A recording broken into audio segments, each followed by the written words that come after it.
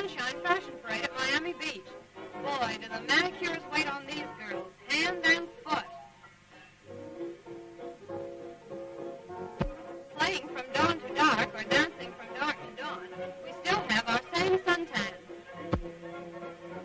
This for bathing, this for lunching, and this for dancing. The milliner is making the net profit this year.